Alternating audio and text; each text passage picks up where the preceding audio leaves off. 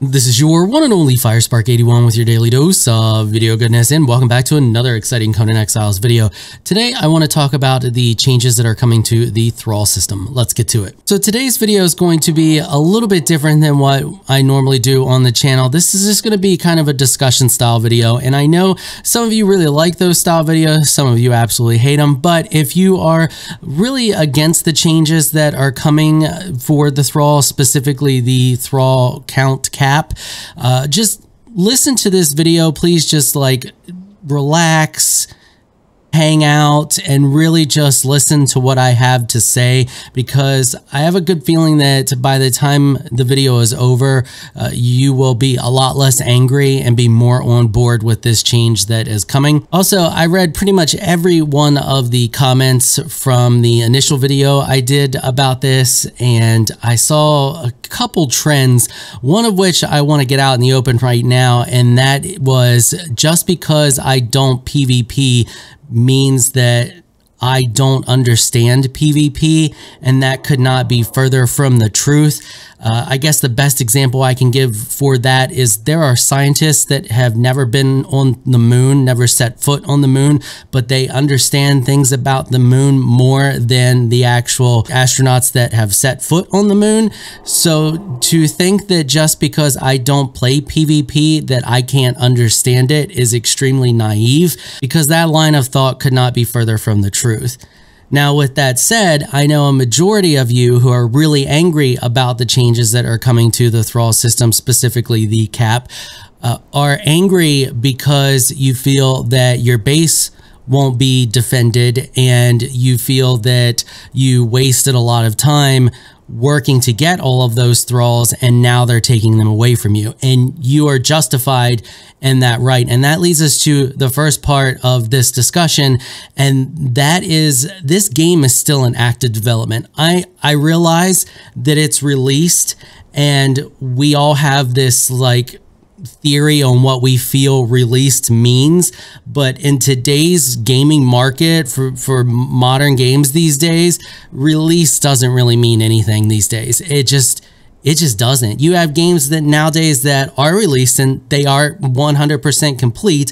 That's the game you bought. That's what you get. They may patch it later and do some bug fixes, but that's about all the content you're going to get. Then we have games that are released that are just a shell of the full game, and then they sell you the rest of the game in DLC form. Then we have games like Conan that get released, but the game is still in active development, and it can just mean a wide variety of things. And if you think for a second that this game is not in active development, you're extremely mistaken to get the changes that they have put on this game in the past year, that's active development changes and them trying to solve problems and and change the way that the game plays as a whole. For example, leveling thralls.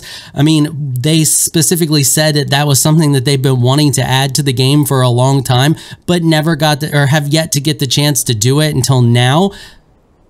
That's developing your game and especially if it's something that they had planned to put in the whole time and they're just now getting around to it, which sucks because you end up with situations like we're in now where people have put in a ton of work into a specific aspect of the game and now that's getting changed.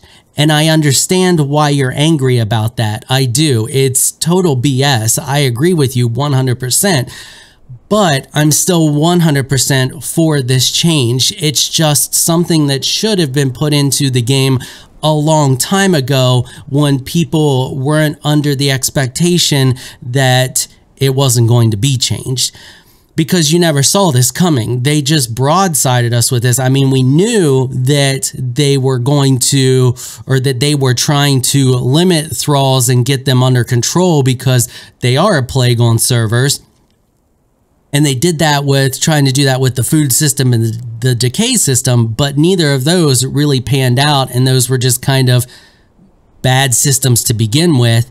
The cap was something that should have been put in the game from the get go. I don't understand how they didn't expect this to happen. Like, what did they think was going to happen? And that leads us into the next part is uh, for base defense. Because if you are playing PvP and you have a giant wall such as so. And we're just going to pretend this is a wall for a whole base. Pretend there's a whole base behind there and this, this wall goes all the way around the base. Just pretend with me for a minute here. As the game stands right now, you don't have very many options for defending that base besides thralls. I mean, what did they think was going to happen? People were going to actually use the traps? I mean, comment down below if you've ever used the traps, because that's something I'd really like to know. If you've used the traps for anything other than leveling. Thralls are what people use because they're what deter people from attacking a base. Are they your best option? No, because they can easily be dealt with because their AI is really clunky and, and anybody who is experienced with the game can bypass them relatively easily and deal with them relatively easily. But people who aren't super experienced with the game, it's a complete and total deterrent to keep, you know, quote unquote noobs out of your base. So you see things like this because that's what you do, that's what you have to work with. But it's not efficient. And my point is, we need other things to work with to defend your base. And I think that that stuff is coming. You know how Funcom is by now. If you've been playing this game for any length of time, they've given plenty of hints that they're working on siege mechanics and reworking siege mechanics. And I honestly believe that the thrall cap is just the first part of that. Now, is it the best order? Mm, maybe not, but I have a feeling we're going to see more stuff to help defend your bases in the future. Because if you look at something like this, this is crazy, crazy inefficient. It's just absolutely crazy inefficient because if you look at the map, yeah, there's a lot of entities on the map at one time, but they're relatively spread out.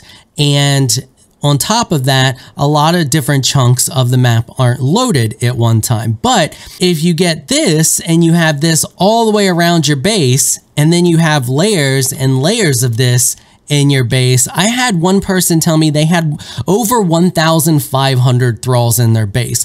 So what do you think happens to the server when you look, let's just take a look at the map here. You got Tom, Dick, Joe, and Harry up in here, and they've got this chunk loaded, and they have a couple hundred thralls apiece. Then down here, you got uh, uh, Sam, Jill, and, and Jane, and they've got a couple hundred thralls apiece, and they've got a large chunk loaded down here.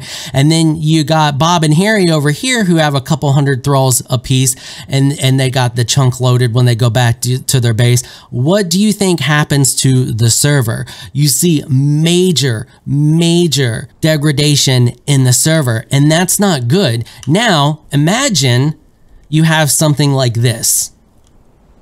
This is your base, and every four to five foundations, you have a thrall. Or pretend that these are not thralls and where these thralls are, pretend that those are turrets instead. Pretend that those are actual structure pieces and not thralls. Now, they'll, they'll work similar to how thralls work because they'll have to have an AI, but they're not moving entities, which is a little bit less for the server to deal with because if I come over here to this wall here and one of these guys gets set off, they all get set off. Now, all of these thralls are going to try to clump up in one area, and the server has to do the calculations for all, all of that. But if you have a situation like over here, where you just have these three turrets, remember these are turrets, they don't move, all they do is turn and look and fire. So it's a lot less for the server to deal with. On top of that, they would have a larger range and you wouldn't need as many. Now, are we getting turrets? I don't know. I hope so, because that leads me to something else that I've been telling a lot of people is that thralls are not the answer to defense. Yes, they're what you have now to work with, but they are not the proper answer to having a stable server or defending your base. We need better options as a player base. And I think that we're going to get that. I can't I can't 100% say and I could be wrong because I'm human. I make mistakes, but they've made a lot of little hints here and there uh, that I've picked up on and made some comments about some stuff in the live streams and stuff like that. And I really think we're going to see some some changes coming for defending your base here in the near future. The other thing I want to point out is that the new thralls now, we don't know what those new thralls perks are going to be, especially for like archers. So what if one of the perks for the archers, once again, this is speculation, but what if one of the perks allows them to shoot multiple arrows or shoot faster or have a much larger range? You could use three of those larger range ones to cover a lot more area. We already know that they're going to hit way harder because we we saw the stats in the live stream. That Thrall had like 22,000 hit points and a buttload of damage. So you already know they're going to get hit harder. If they have a longer range, you wouldn't need that many of those long range perks thralls to cover your walls as you would with these here because if one of those thralls that has it's an archer with longer range and does a buttload of damage can two-shot a player then what do you need all of these thralls for? But once again, that's speculation. The main point that I'm trying to make is that and and as a player, whether you're PvP player or PvE player or PvE conflict player, you should want the server to run better because if the server runs better and more people are having fun, then that means there's going to be more people playing on your server for you to raid and have a good time with if the server is all laggy because every time you log in, you're logging in, you know, 900 entities into one chunk and the server just freaking plummets because you use up all the server's processing power and then then you're over here loading into your base and Bob over here feels it. You you don't think that he does, but he does. So I know that the change sucks. I know that the cap sucks because you're going to lose out on a lot of work, but you have to think on the bright side of the situation that in the long run, it's going to be better as a whole, may even get more people back into playing the game. I feel for you. I understand that you're angry 100%, but don't be angry to try to stop the change now. Be angry that it wasn't already done. Express to Funcom that you're mad that this wasn't already done and make it known to other development companies that you're not going to support this kind of behavior in the future because honestly, that kind of thing is the real problem. And we know that the game was already rushed out of early access as it was, if you go back and you watch my my interview with Joel, he basically said that we had to cut stuff because we didn't have a choice. We had a deadline we had to make to please investors.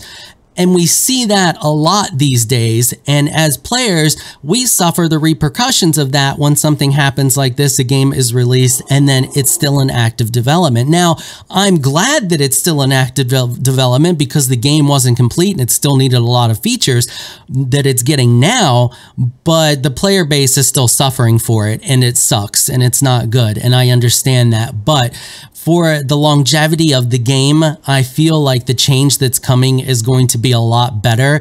And the other thing and that I know is that's upset some PvP players is that they feel like they're going to have to consolidate their base and make their base smaller um, or break up their clan. And I think that might be something they're trying to do. They mentioned that this was not the most controversial topic that, that that was going to be in this next patch. And I think one of the things that's going to kind of aggravate people a little more is I think they're trying to put a damper in alphas. Um, and that's a whole other discussion about alphas and how alphas affect the overall gameplay in PvP. And it's actually something that I've seen other games try to mitigate and give the possibility for people to take down alphas relatively easily. And I've kind of looked into it a little bit. And if you're interested in a video about that and talking about that, let me know in the comments section because it's something really interesting that I've noticed a lot of other companies have taken notice of because of what alphas have done to Ark and what they've done to Conan. Now, I know not all alphas are bad, but there are a lot of bad alphas out there that their main goal is to take over a server, ruin the experience for everybody and run everybody off the server. Then they move on and they do that to another server. It's done on Conan servers and I've seen it done on Ark servers as well. And that's not fun for anybody. That ruins the experience. And, and while it may be fun for the people doing it, it actually runs people away from the game. And it's a problem that I think devs are starting to realize that is an issue that they don't want in games like this. I know that Wildcard has learned from it and they're trying to rectify that in their game Atlas. Uh, they've done things to try to make alphas want to play friendly with other players instead of harassing them and running them off of the server. But once again, that's a that's a big discussion for later, and I'm just speculating that that may be something that they're trying to do with this patch. Once again, I could be wrong, but I'm I'm almost positive we're going to see massive changes in the siege system here very soon, if not this patch, because they could be hiding it. We, Once again, they alluded to that there was more stuff coming in this patch than what we know about, so it could be stuff that's coming in this patch, or it could be the next big patch that we're going to get, and this is just kind of the forefront of it. So that's pretty much all I had to talk about. Hopefully that gives some of you a better understanding and helps cool down some of the rage a little bit because I've seen a ton of rage from the PvP community and I just want you to know that I understand why you are mad. I feel for you, but I hope that you can understand after this that the changes that are coming are for the better of the game and in the long run, you're going to find a lot more enjoyment in the game because you're going to have a lot more people to play with. All right, that is going to wrap it up for this episode. If you like what you saw, consider hitting that sub button. I want to give a big thank you to my patrons for making this episode possible. Y'all are absolutely amazing people. If you would like to join my elite crew of Patreon supporters, please check out the link in the description below. If you enjoyed this video, please leave a comment down below. Let me know what you thought. If you're shy, you don't like to comment, just hit that thumbs up button and show your support. Until next time, thanks for watching.